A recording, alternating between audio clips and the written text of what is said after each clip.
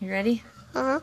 Okay, so the first question is um, what descrip- brief description of what activity we did.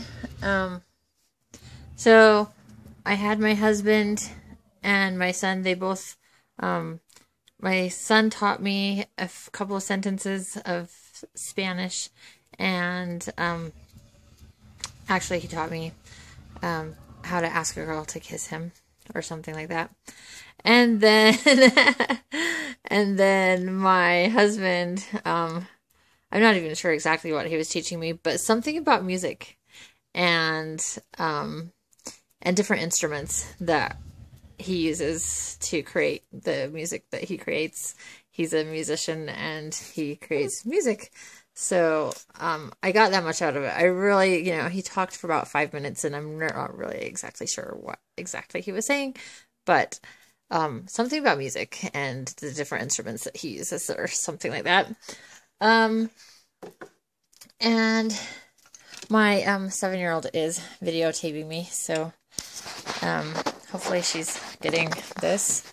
Um, what expectations did you have before the activity? So I wasn't really sure what to expect. Um, I kind of knew already that I wasn't. I was hoping that I'd be able to get something out of it, um, especially with my husband because he speaks Spanish really, really well. Like he's very fluent in it. Um, so I was hoping that I would be able to pick up on like some things, and I think I did. You know, the music bit of it, but but I really have no idea like exactly what he was teaching me. Um, and I'm sure that that's the way students feel when they come into like a foreign classroom and they're um, expected to understand everything. I'm sure that it they maybe catch a few phrases or a few words here or there, but they probably have no idea on, Mm. about the concepts of what exactly they're learning. Um, how, how did you experience challenge or reinforce your core beliefs? So, um, it was really challenging.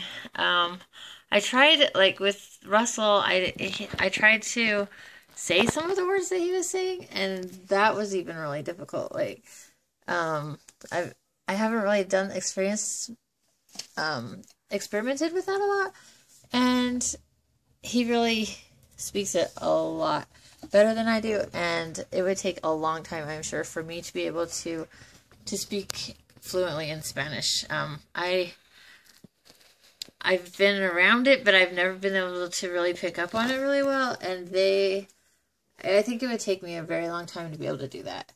Um, how did the experience challenge or reinforce your core beliefs? What do you feel the most interesting or important thing you learned? I definitely learned that um, that as a student you would feel extremely overwhelmed. Um, it would be impossible to feel uh, comfortable.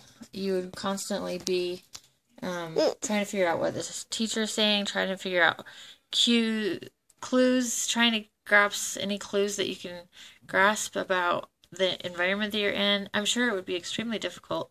Um, the language, the culture, everything's different, and I'm I'm sure it would be extremely difficult. Yes, Emily. Um. Do you want me to like when you're looking at that? Do you want me to point at it too, or do you want me to just look at your face? Yeah, you can just look at my face. It's okay. So I can do this if I want. Yeah, that's fine too. Yeah. Did you know Um, that I didn't pause this? You did pause it? I didn't. Okay, that's Oh, okay. You think this? Um, Okay.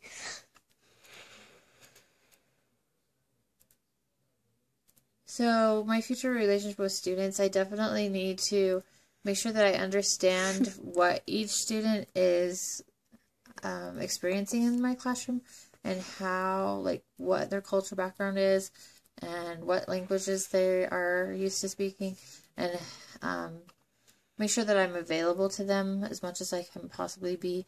Uh, making sure that they maybe if there's another student that is more um, has more understanding of the language or maybe an interpreter or whatever it takes to help them to be able to understand what's going on in the classroom i think is very very very important um, yeah, I think that's probably